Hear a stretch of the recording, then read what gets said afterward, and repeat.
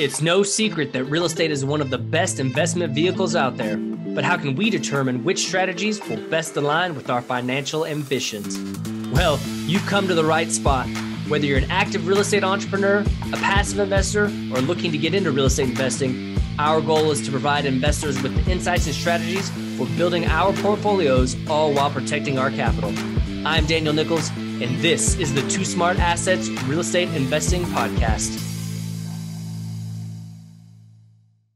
Hey guys, as you know, I'm a big fan of passive real estate investing. And as a busy W 2 professional working in the oil and gas industry, this type of investing has been a complete game changer for me. It's allowed me to build income streams faster, access private off market opportunities, and bring stability to my portfolio by investing in hard assets like apartments and self storage facilities. So if you're looking to learn more about these types of opportunities, I highly suggest you check out Upstream Equity. Whether you work in the oil and gas industry like me or you're a busy professional looking to grow your investment portfolio, Upstream Equity is your go to source for passive real estate investing.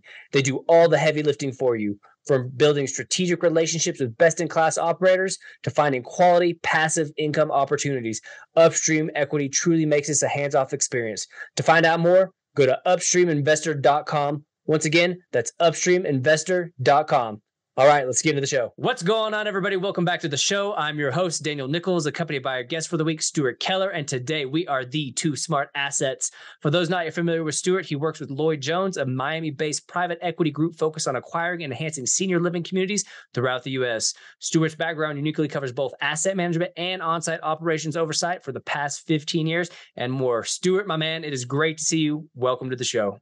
It is absolutely wonderful to be here, Danny. Thank, thank you so much for having me pumped to have you on, man. We're going to dive into a topic that we haven't talked about on this podcast ever. So this is going to be very exciting. But before we do that, man, we want to learn more about you. Tell us more about your background, your story, and how you got to where you are today, really.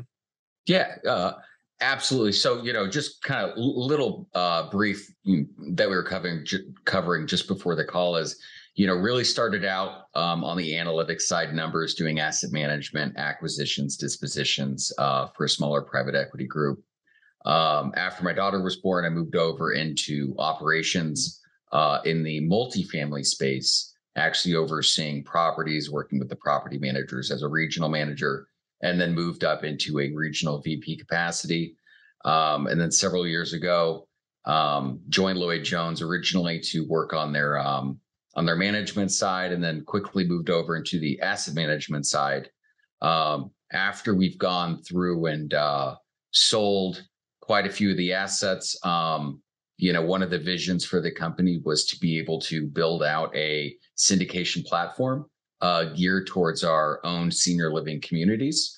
Um, so far this year, we've closed on, I think we're at nine or 10, um, and we're on track to, wow. you know, close anywhere from 15 to 20 properties this year, you know, given the senior living space, the, you know, forecasted demand and just kind of the multifamily 2.0, if you will. Yeah, absolutely. And you know, that's kind of the topic we're going to dive into today and it's it's a big issue that we're hearing more and more about, right? So let's just let's just get into it. You know, just like I said over the last few years, it seems the conversation around, you know, this upcoming wave of retirees is it's really only getting louder this conversation, right? You're hearing more and more about it. You know, baby boomers are hitting retirement age and there's reason we should be paying attention to this, right? And that's kind of what we're going to dive into today. Yeah, so, absolutely. So you're the man to talk to about this uh, walk us through it a bit. Some of the numbers of you know the aging baby boomers, this demographic shift we're having, and, and why it's important that we're paying attention.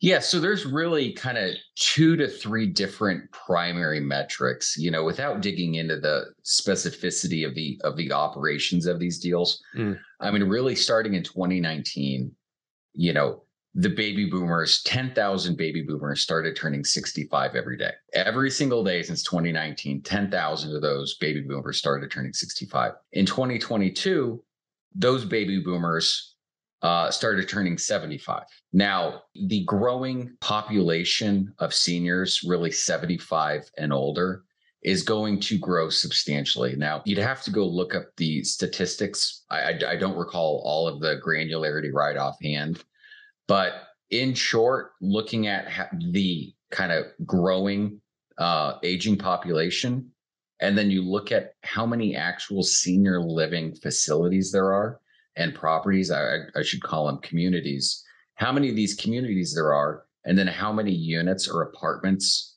um, that are actually currently in existence, mm-hmm. and how many are being delivered every year. We're looking at anywhere from a 900,000 to 1.5 million unit shortfall by 2030.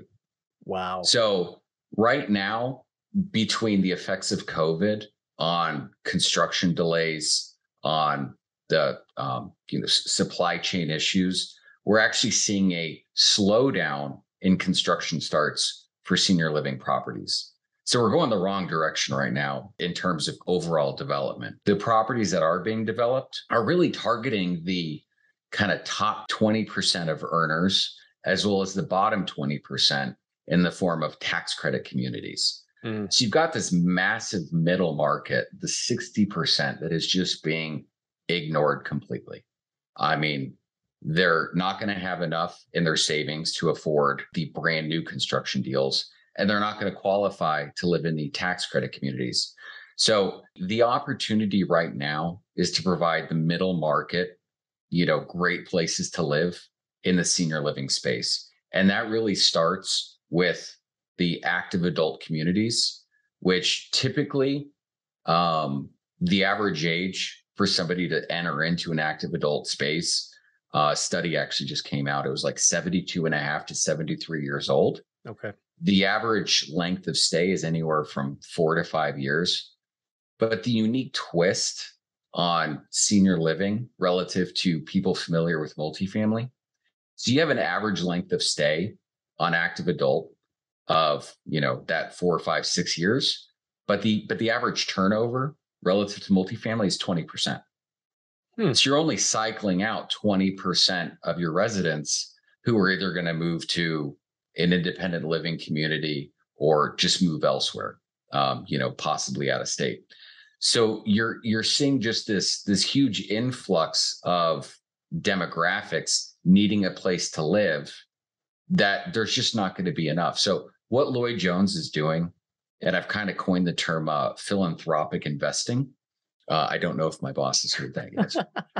um, but uh, you know, it's we're we're a private equity group, but but we're looking to do something meaningful with our acquisitions and our management, and not only our management, but how we manage.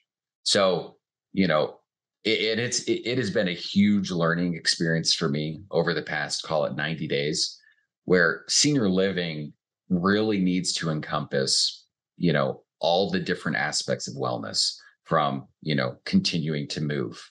You know you look at the de- depression the memory loss issues the alzheimer's issues. A lot of those different items can be combated with just companionship mm. listening to music movement health general wellness.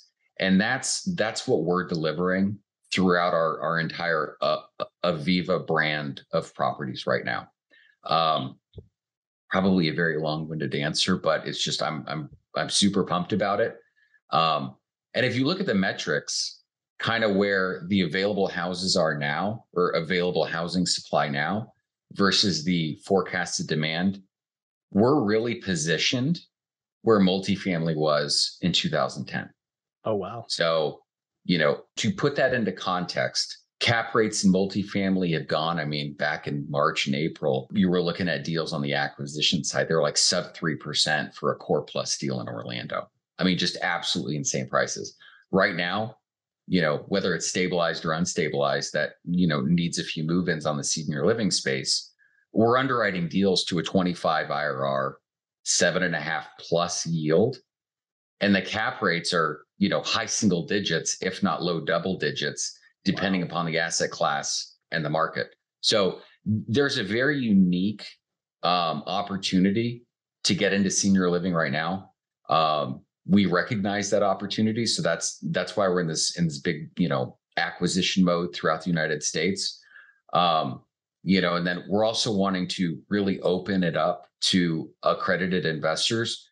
So, you know, it's mid September right now when, when we're filming. When when this comes out, um, we will have everything available for uh, accredited investors to be able to actually buy in to cash flowing assets.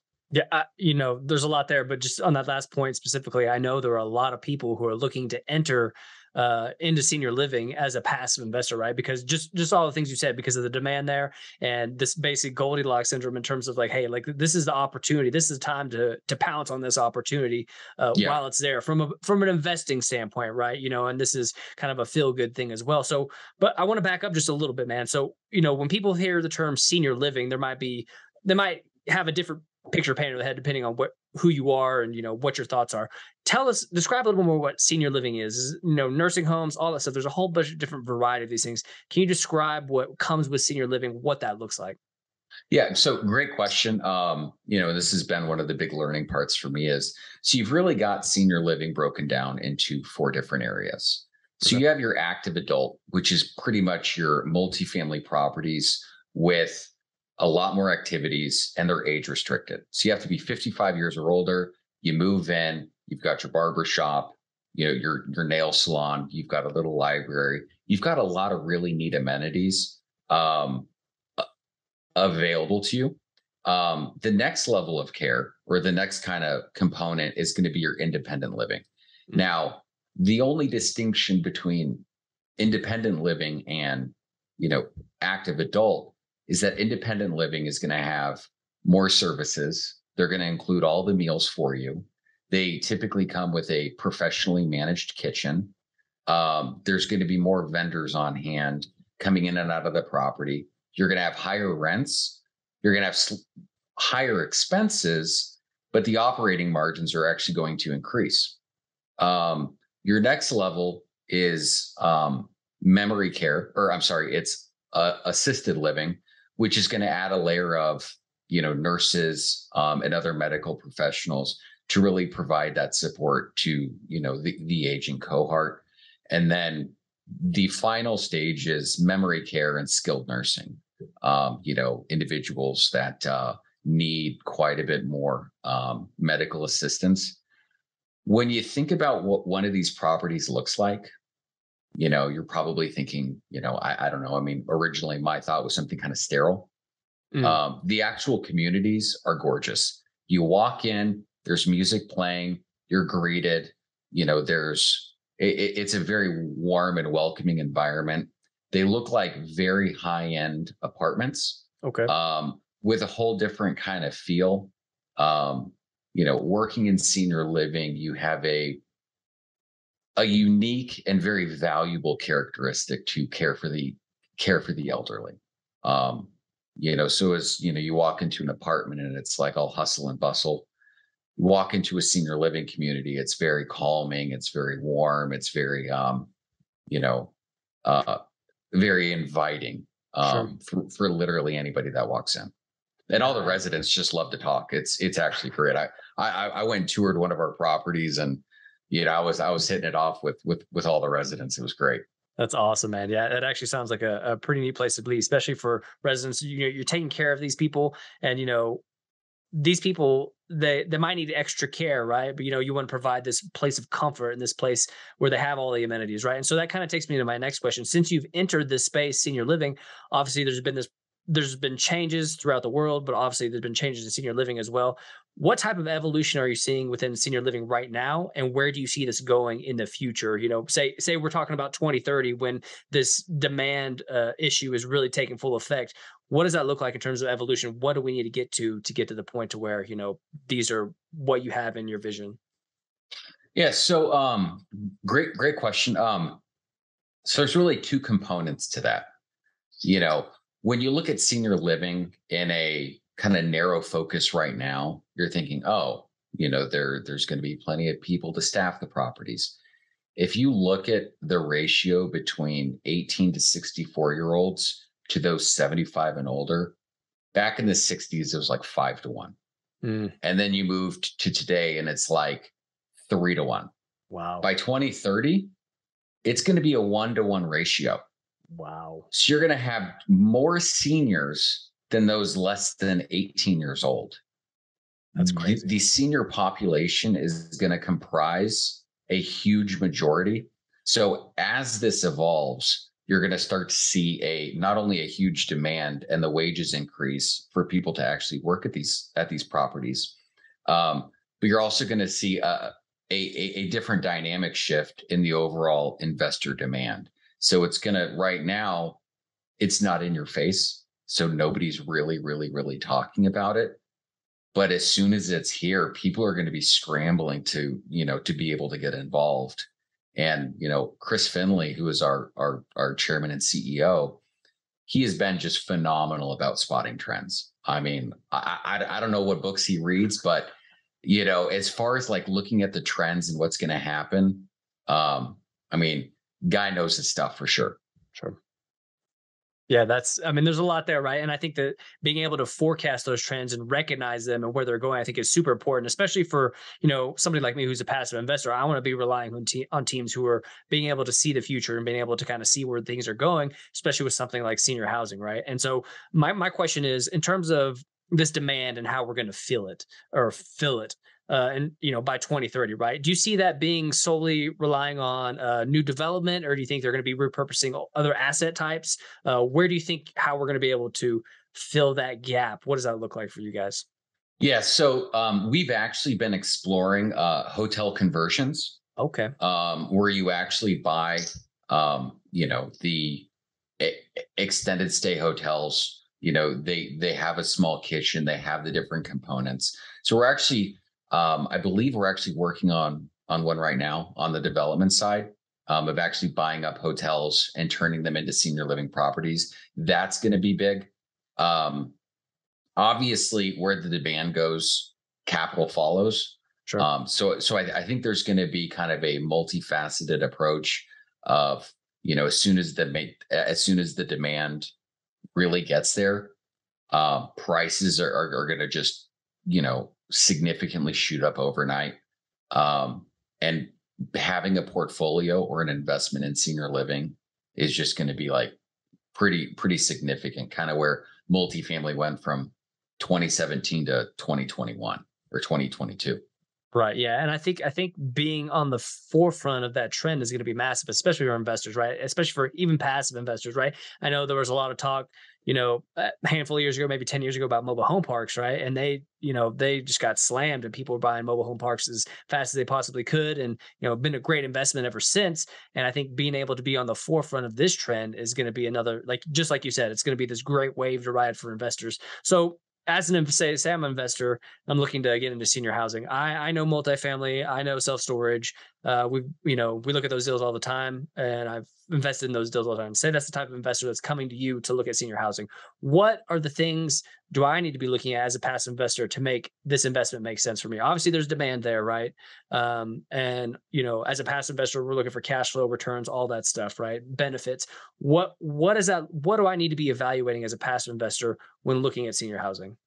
Yeah. So one of the biggest things to really look at is, you know, the the market demand, mm. you know, the actual age cohort, the demographics of the average incomes in the area of those 45 plus, as well as the incomes and the actual total number of people um, you know that that fall into that age demographic within a five mile radius you know all of the construction that's been going on in senior living or like 70 to 80% of it has been in like five primary markets. Really? A deal that we that we that we closed on and is actually going to be our is our first deal on our um, syndication platform is in Valparaiso, Indiana. Okay. Now, there's no new construction going on. It's got five competitors. There's a total of like 293 senior living homes or like units um, in the market.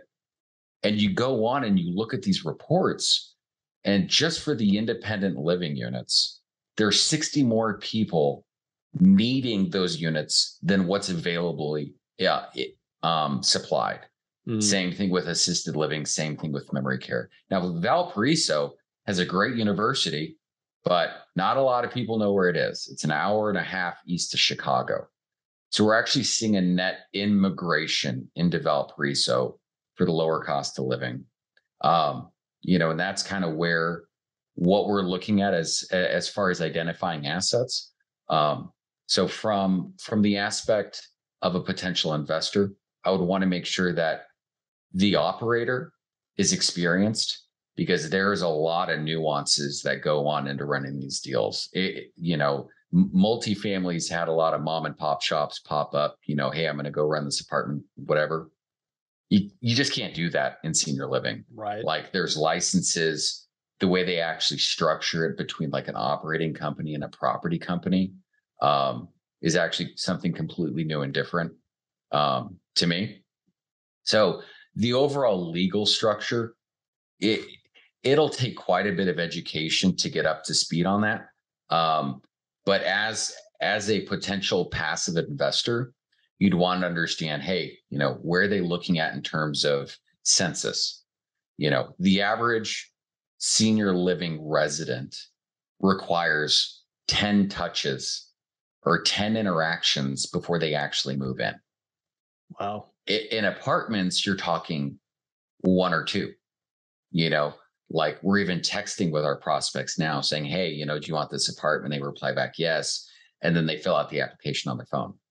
In senior living, when you're when you're reviewing these investments, if you have an owner that's going out and saying, Hey, we're going to buy this deal and on October 1st, and we're going to get 10, 10 move-ins in the first month.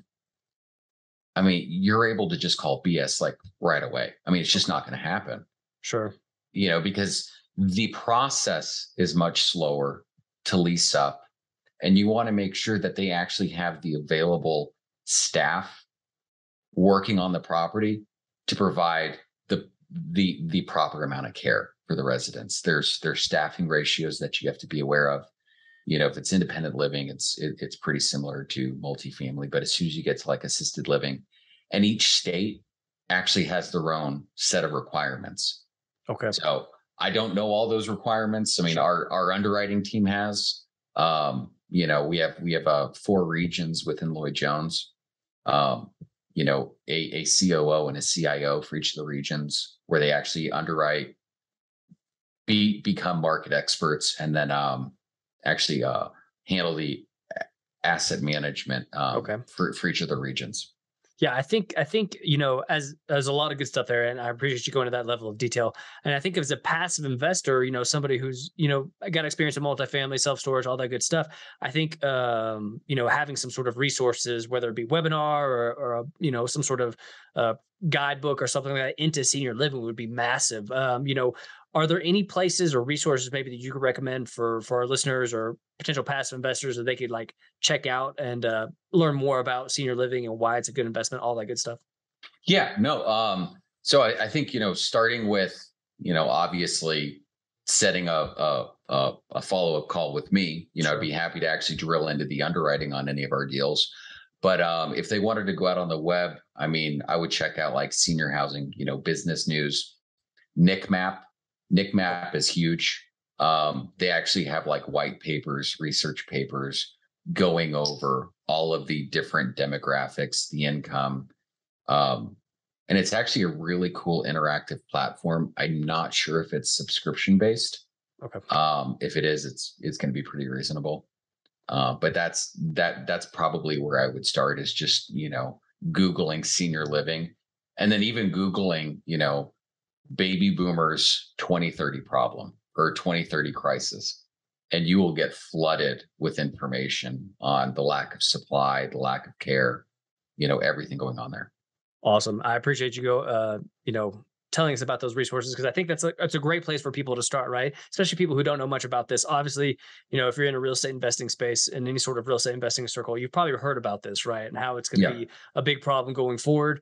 But you know, you're still really only seeing multifamily deals, self storage deals as a passive investor, right? Depending on the circles you roll in, but being able to dip your toe into senior senior living with a syndication model is very beneficial to somebody like me as a passive investor uh, to being able to ride those trends like you talked about earlier and uh, learning more about it i think is going to be super critical going forward and having those resources is going to be um, definitely needed right but uh, so i yeah. appreciate you sharing that stuart man listen I've learned a lot today. We're gonna have to bring you back on uh, and, and just dive into this more, this topic more um, about senior senior living. See what ha- see what's what it's looking like with uh, your company after you know the syndications launched, all that good stuff, uh, and dive into it more. But I uh, really appreciate you taking the time to speak with me today. Tell the listeners how they can find out more about you and Lloyd Jones and anything else you have going on. Yeah, so uh, you know, if if you'd like to get in touch with us, um, it's just going to be lloydjonesinvestments.com. That's L L O Y D J O N E S investments, that's with an S dot com. Um, you'll be able to reach out to a member of our investor relations team, which right now it's me and one other individual. So you'll have a direct line to me. Um, or you can just go on to uh, our, our, our normal webpage, lloydjonesllc.com um, everything will have a link from there, or you can reach out to me on LinkedIn. Just just look up Stuart Keller, and you'll see my smiling mug on on, on that webpage.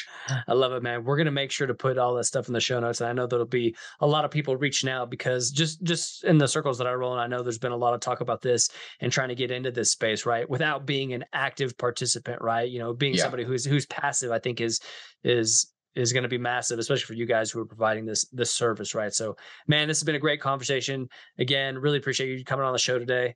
Um, hope to bring you on soon, man.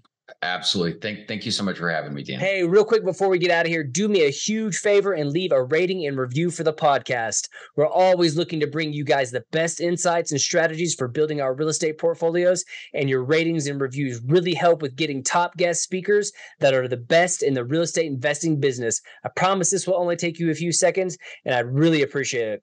Thanks for being awesome, guys. Cheers.